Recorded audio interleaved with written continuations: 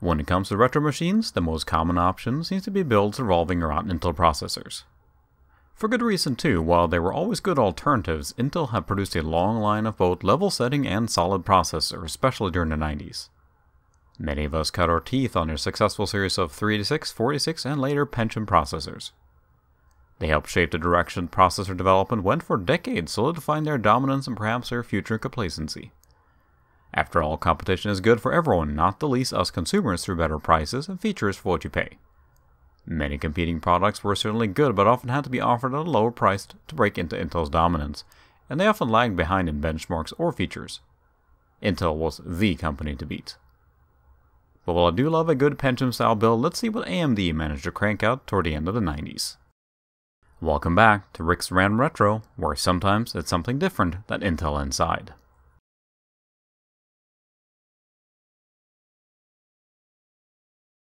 So what we have here is another random tower that I managed to save before it went to be recycled. Like so many other beige towers of the era, it served as a business machine of unknown function, but I believe it was something to do with phone or fax system based on where it came from. From a design perspective, it's generic, but also 90s with its simple and understated style. It's also quite small if we compare it to other towers of the era, making it fairly compact stacked up next to some contemporaries. If we take a look around the back, one of the first things we notice is that a lot of the components we expect to be integrated are actually expansion cards, meaning the motherboard doesn't have a lot directly on it. Not entirely uncommon practice when we look at the PCs from the early 90s, especially the AT style motherboards. Let's take this thing apart and see what we're dealing with. The case is held on by three screws on the back, which is par for the course for the era, nothing special there.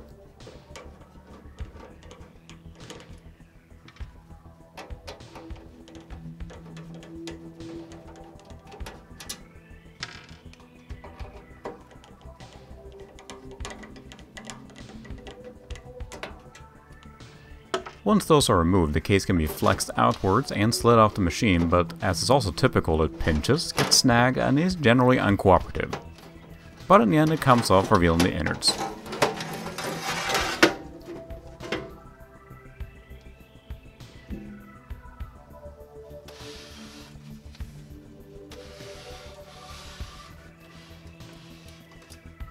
Let's take a closer look. We'll get to the parts more in detail as we dig in, but on first glance this is a socket 7 motherboard that has a combo thing going, supporting both AT and ATX power supplies, which may come in handy. The only expansion card, if it can be called that, installed currently is the video card, so it's not much of a gaming machine, not that it likely was ever used for that. One thing to note are all the serial and parallel ports that connect to the motherboard back here, since they aren't directly integrated into the board.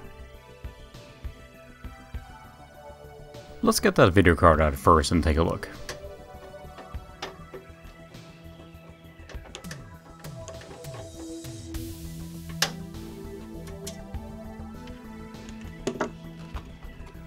It's actually a 4MB S3 ViRGE DX card, which uh, we'll take a closer look at later, but that's a good card for what this machine will be doing. Next, let's get some of this wiring mess out of here so we can actually get to the motherboard.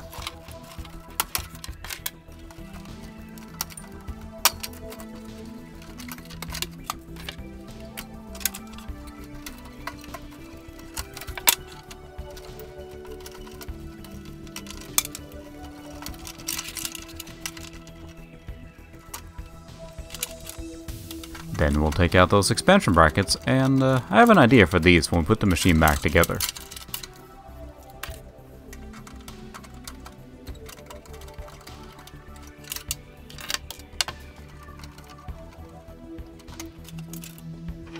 Last for the connectors, we have the dreaded front panel wiring. So easy to take out, way worse to put back in.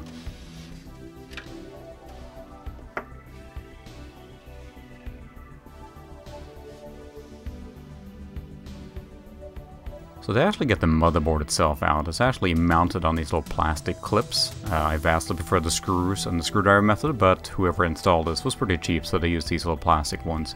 And they are gnarly to get out of here. This was after a lot of work to actually free this motherboard. This is the last clip, so hopefully it should come out here pretty easily. No, it's not easy. It's never easy, but I think we finally get it here. Nope.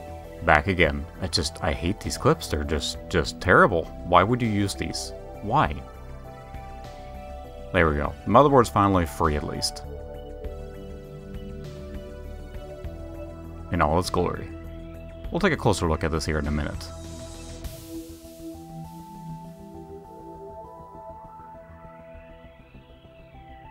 Shame on you, Clips. Shame on you. And too late I realized that the motherboard sits on one of these little trays. That sure would have been handy as I took it apart.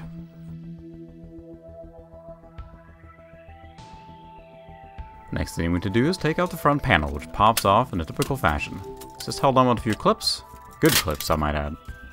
We're going to take out the 3.5 inch drive cage here, which uh, has the floppy drive and also uh, no hard drive, but we'll get back to that later. After that, we'll have to remove the CD-ROM drive, which is held on in a typical fashion, which is a few screws.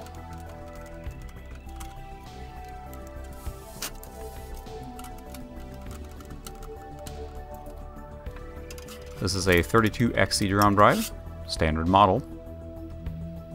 And we have to remove the power switch next, which is actually, because this is an AT-style power supply, it's a mechanical switch that is run all the way back to the power supply. So it's actually grounded, as you can see here. We have to take that out, and then the power switch itself. The power switch actually works by a mechanical on-off switch versus an ATX style, which is basically a momentary power on. So this is actually, again, hardwired directly into the power supply, unique to the AT style. After that, we're going to go ahead and take out the entire power supply, which again is held on by normal screws in the back here.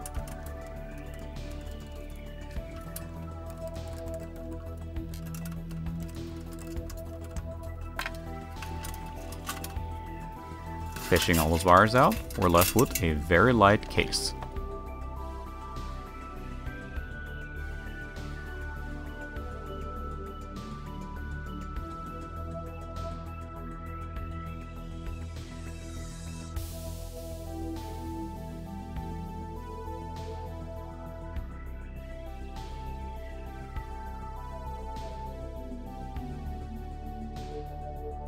Motherboard fully freed from the case, we can go ahead and take the CPU out as well. But let's get the fan and cooler out of the way first.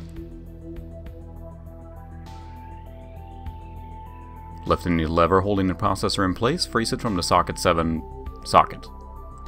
That said, it's surprisingly in there considering these are supposed to be what they call zero insertion force or ZIF sockets. We'll go over this processor more later, but what we have here is an AMD K6-2 running at 300 MHz. This particular one is using a 66 MHz bus speed, which could be considered the budget model of this particular one.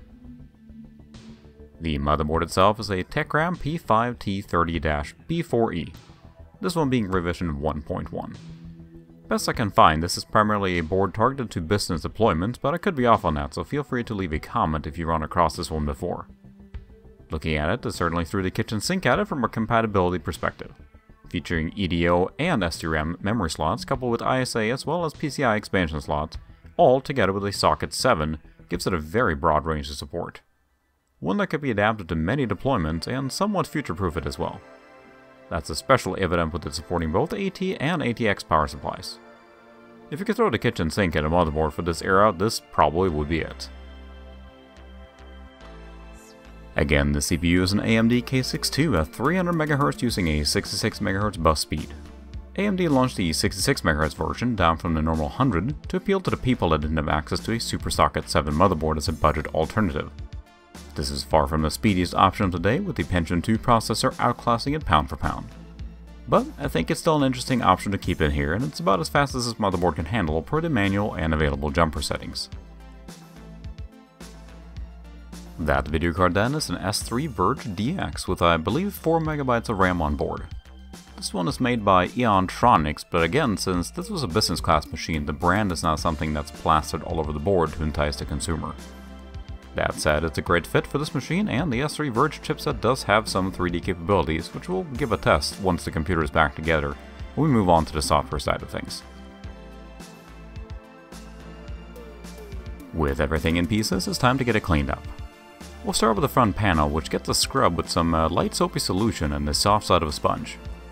Like usual, you sort of have an escalating range of harsher products you can use to clean up these old cases, but I find that it's best to start with the simplest one, using just soap and water.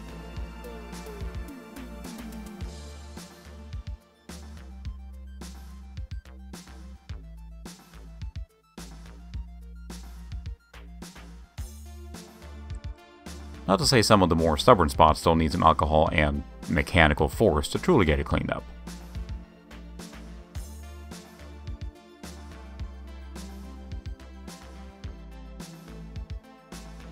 Overall, I think it cleaned up quite nicely. Not like new, but there's definitely an improvement.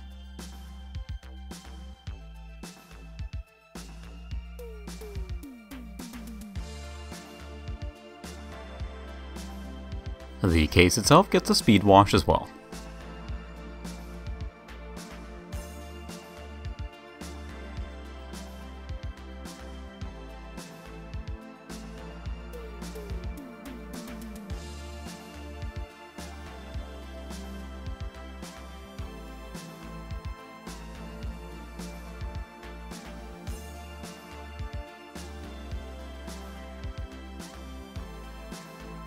As for the rest of the case, it's actually not that dirty, believe it or not.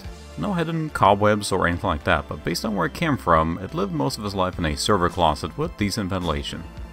A simple brush down with an antiseptic brush does the trick here.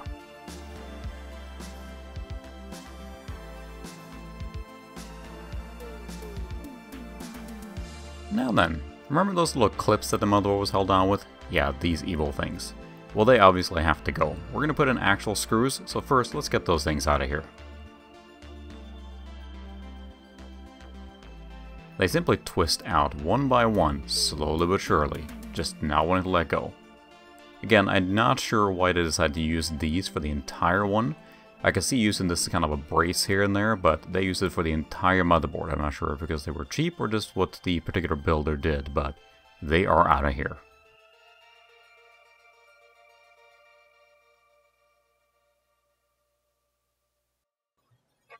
Moving on to the CD-ROM drive, I noticed it had an odd sound to it when I was moving it around. That didn't quite sound right to me. So I took it apart and I'd assume the bearings that allow the drive to actually spin the disc isn't supposed to sound like a loose bag of marbles.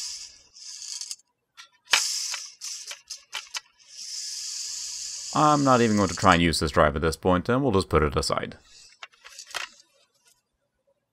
With the warranty now voided on our old Cyber Drive, I'm going to go ahead and switch to this compact drive instead. And nothing special, just a normal reader, but it should do the trick for this machine.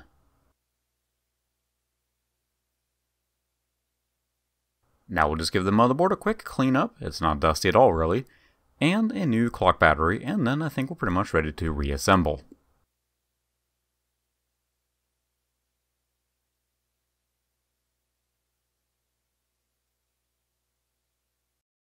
So then with all our parts laid out and cleaned up, it's time to put things back together with some additions along the way.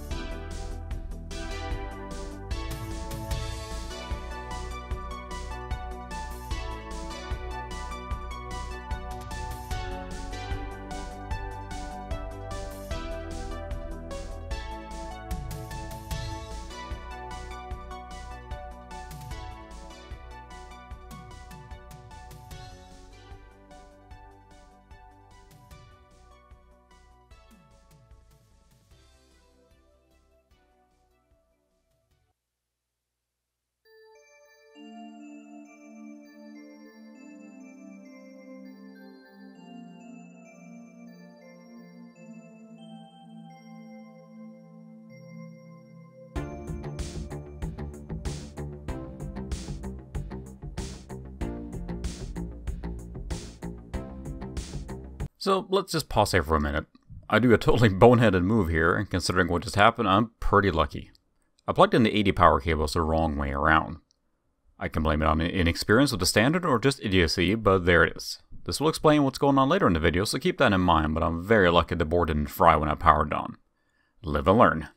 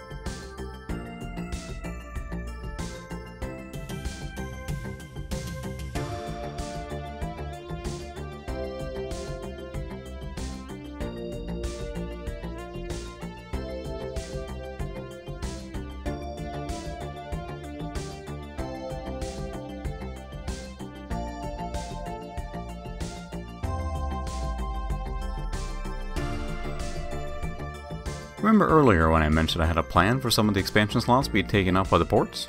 Well, since this case has pre-made cutouts for some of these, I figured why not go ahead and move at least one of them up there. We should be able to fit the parallel port as well as one serial port to tidy things up a little bit.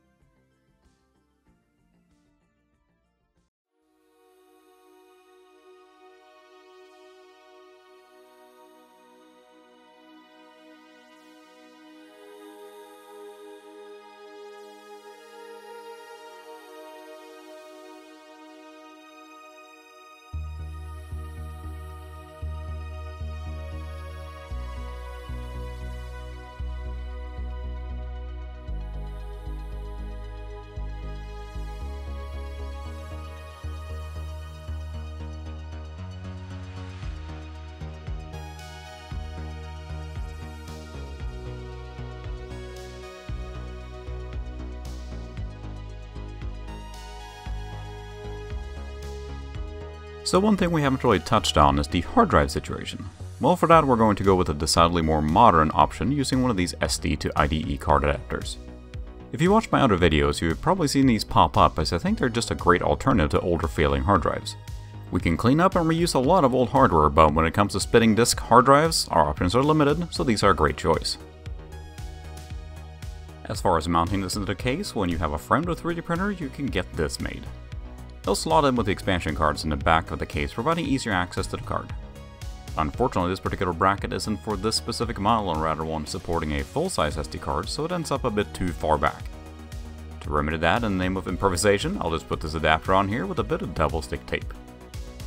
Is this the best long-term solution? Probably not, but it makes the card accessible the way we want it to.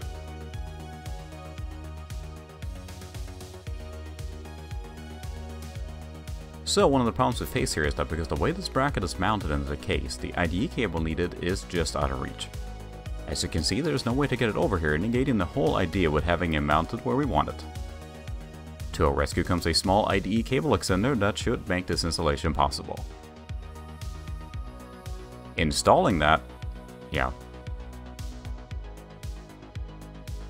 Installing that Come on, actually install can now bridge the connection to get it hooked up.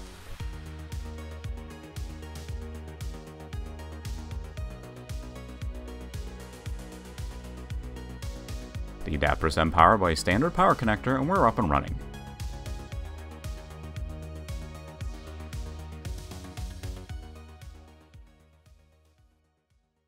Now then with all the basics hooked up, here comes the first power on test.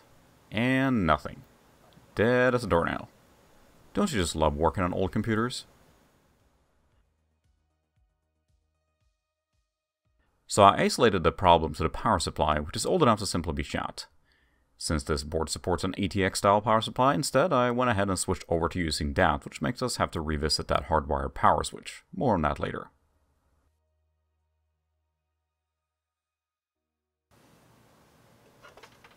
Well, that power supply was also a bust. Even though the machine was giving us power, it still wouldn't start, and I tried just about every other component. This one that's in here now, however, is working as expected, and we now have a properly booting machine. Huzzah!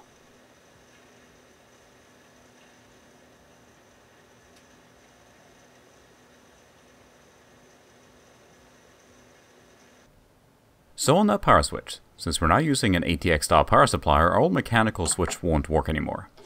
I scavenged apart from another case just to get us up and running, but I have a better long-term solution for that, which should fix that issue for good.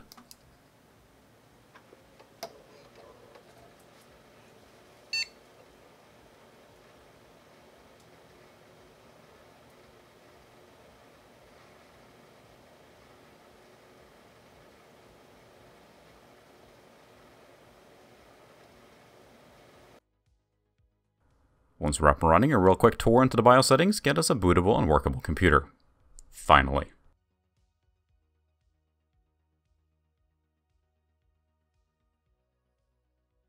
So, while we're going to finish up this video here, what do we actually have left to do? Well, a few things really. First off, the power switch situation has to be sorted, which should be taken care of with this one I ordered. It blends together the on-off type switch with the momentary one our ATX power supply needs. I'd also like to address some of the airflow and fans looking ahead. Next, this isn't much of a gaming machine just yet, or at least in the way I had planned.